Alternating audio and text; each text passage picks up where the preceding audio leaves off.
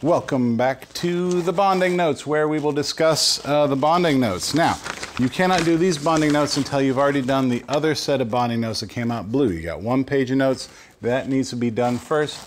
You should uh, have on the back side of your, or the bottom part of your notes right here, right, the purpose. So remember, the purpose to doing bonding is we want to have a full outer shell. If you do not have a full outer shell, then you do not have a stable outer shell. So it needs to be full in order to be stable. And if it helps, you can think of atoms like little people. They like to be stable. So we want to make these atoms as stable as possible, and then they'll be much happier.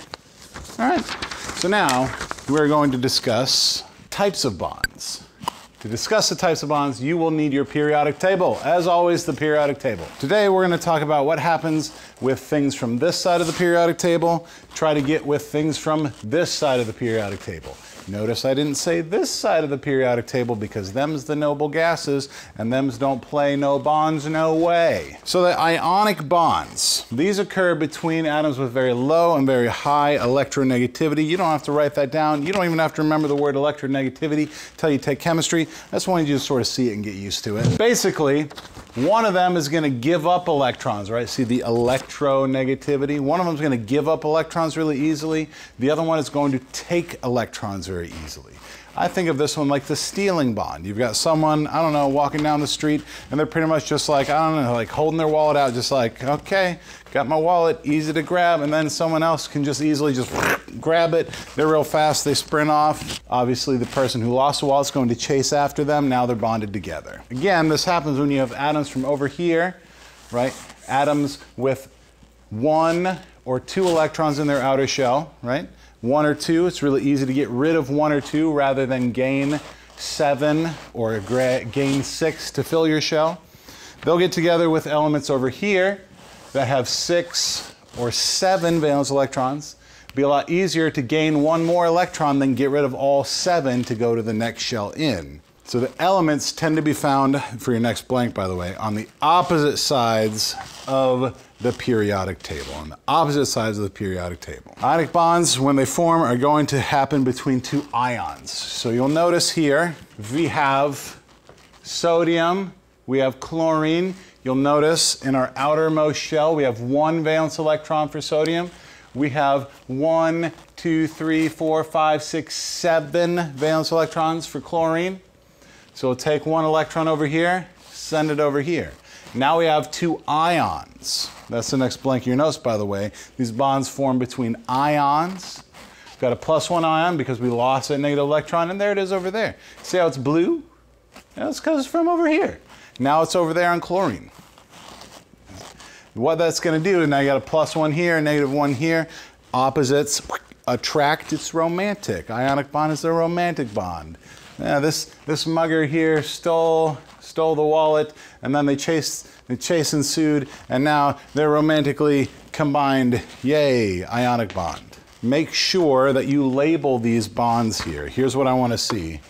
When you show me this electron getting sent over there, makes a plus one charge here, minus one charge here. Make sure you label your charges on your notes.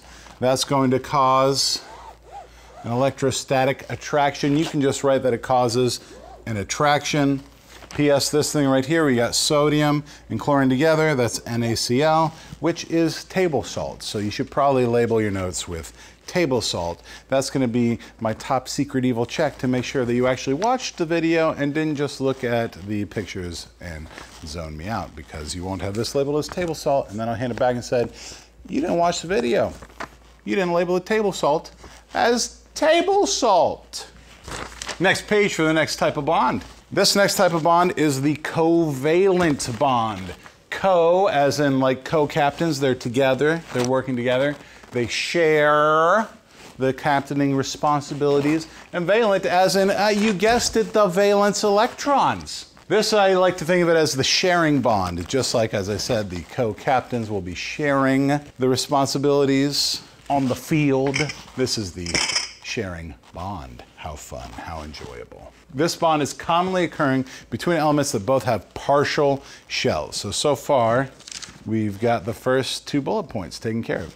Covalent bonds are formed when ions share their outermost electrons. Covalent bonds form between elements with partial outer shells, halfway shells.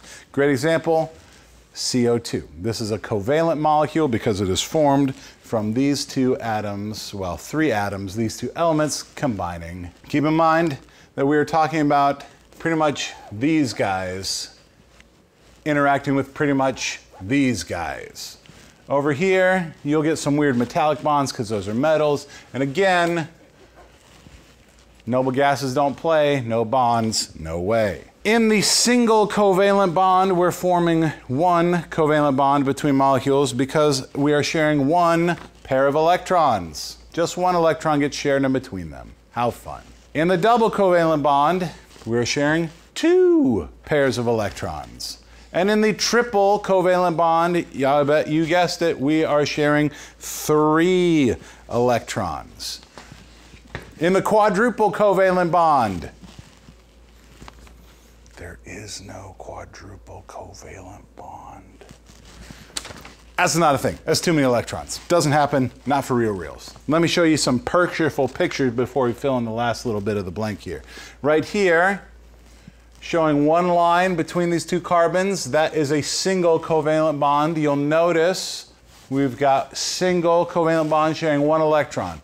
Over here, between that carbon and that oxygen, you'll notice we have a double covalent bond. Oh, how fun, how fun. When you draw bonding, you draw them with these stick lines between them. See the carbon connect to another carbon. Sometimes we'll also just draw this in a straight line if we're not feeling like showing any kind of geometry. So you got a bunch of carbons, right? Over here we got a carbon, and then we got a OH, and then we got a double O. How fun! How fun! Remember, double lines for double bonds, triple lines for triple bonds. The single bond is the weakest covalent bond. However, all covalent bonds, being sharing bonds, in an aqueous solution in water are stronger than an ionic bond.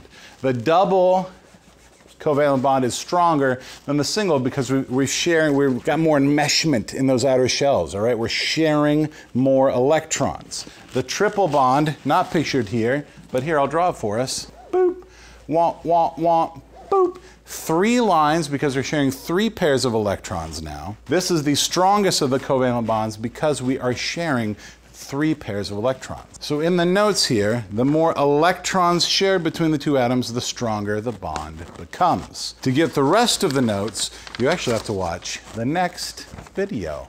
How exciting. Thanks for watching.